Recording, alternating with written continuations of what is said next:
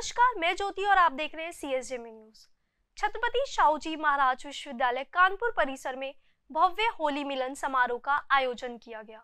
कुलपति प्रोफेसर विनय कुमार पाठक की अध्यक्षता में आयोजित इस समारोह में होली के गीत गुंजायमान रहे और कार्यक्रम स्थल गुलाल की खुशबू से महकता रहा।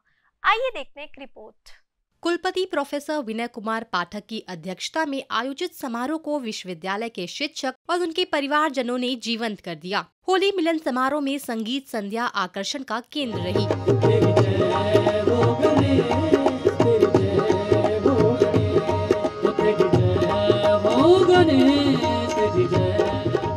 संगीत विभाग की संगीत संध्या का निर्देशन डॉक्टर ऋचा मिश्रा ने किया तो तबले पर संगत डॉक्टर शुभम वर्मा व निशांत कुमार सिंह ने दिया।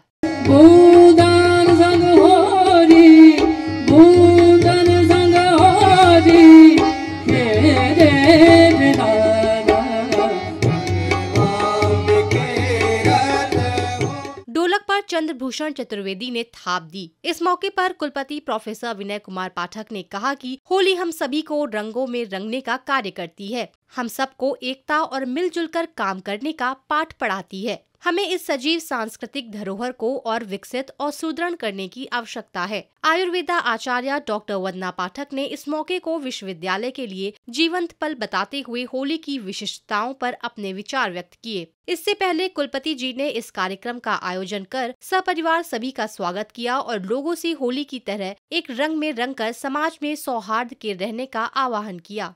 कार्यक्रम में प्रति कुलपति professor Sudhir Kumar Awasthi CDC director professor Rajesh Dwivedi, professor Sanjay Swarnkar समेत बहुत से शिक्षक और उनके परिवारजन उपस्थित रहे। Bureau report C news Kanpur.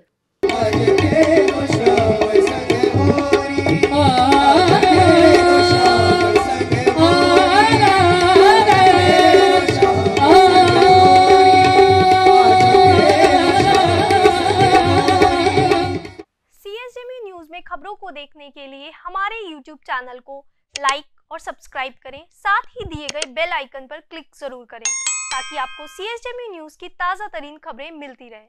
आप हमें हमारे फेसबुक पेज इंस्टाग्राम पेज और ट्विटर पर भी फॉलो कर सकते हैं। अभी के लिए इतना ही। मुझे दीजिए इजाज़त। देखते रहिए सी न्यूज़